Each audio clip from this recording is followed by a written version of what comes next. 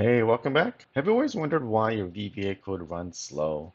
It's probably due to calculations in the background, like formulas, or maybe your worksheet keeps flipping back and forth, updating. There's also other reasons why as well. In this video, I'll be showing you how you can quickly toggle these on and off to speed up your workbook. All right, let's get started.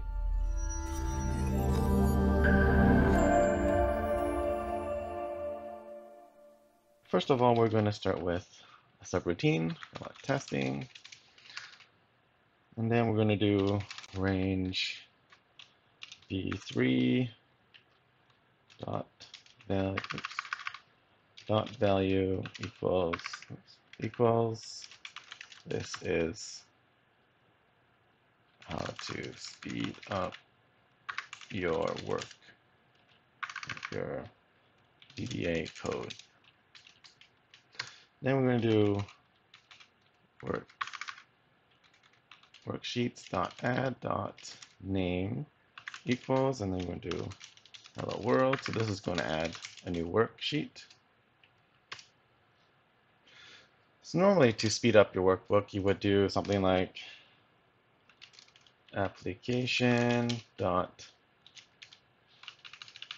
calculation equals manual. To turn off, then you would do application dot status bar false, etc. You would type all these at the start of your code to turn off, and then you would do the same thing to turn it back on. And I would change this to automatic. Now this is good if you have one module, one subroutine, but if you have multiple modules or subroutines, then this can be quite tedious to type over and over again. I'll show you a better way to do this. Okay, so we're going to use a public function. And we're going to call this app reset. And inside parentheses, we're going to put in optional toggle as boolean and basically what Boolean is, is it's either true or false. And we're going to toggle that true or false using toggle. Next, we're going to declare a variable, so dim calc as Excel calculation. Then we're going to tell Excel what calc is, so equals IIF. And what IIF means is basically we're going to say if there's an expression, then it's going to be true. Otherwise, it's going to be false and the toggle is either true or false. So we're going to use toggle, and if it's true, we're going to do Excel calculation automatic. If it's false, we're going to do Excel calculation manual. Close off your parentheses. Next, we're going to do with application. And then we're going to do calculation equals calc, because this is determined by whether it's true or false. Then we're going to do dot screen updating equals toggle. And basically what screen updating is, if you have to flip back and forth between different worksheets, your workbook is going to start to flicker, and we don't want that. Next, we're going to do display alerts equals toggle. Again, display alerts. Your code stops if there's any alerts that needs to be handled by the user, and we don't want that. We want that off. Next, we're going to do enable events, and we're going to toggle that. Again, enable events just means if there's any worksheet events or any other event type that requires user interaction, it's going to stop your code, and we don't want that. Next, we're going to do ask to update links, and we'll use toggle.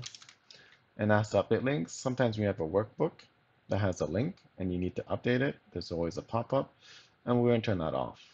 When we set it to false, it's going to automatically update the links for us without having the pop-up display alert. Next, we're going to do status bar equals false. And status bar at the bottom of your worksheet, there's always text down here telling you what Excel is working on, what it's doing, and we want that off. Next, we're going to do cut copy mode equals false. And we're pretty much done. We're going to do end with. All right, so to toggle this on and off, it's pretty simple. We're going to do app reset false because we want to turn it off.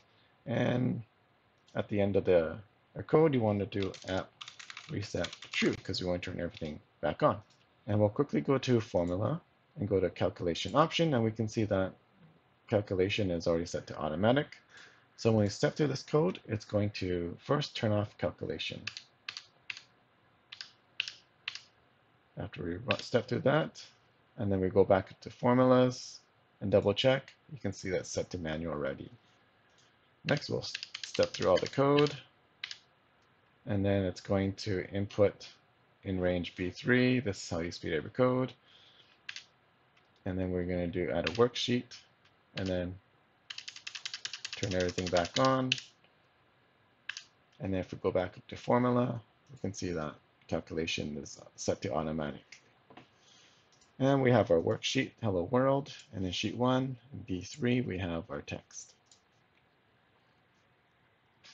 As you can see, we have one line to deactivate, one line to activate, and then a static code here that pretty much toggles on and off based on your uh, true or false instead of having to type all this at the beginning and at the end of your code.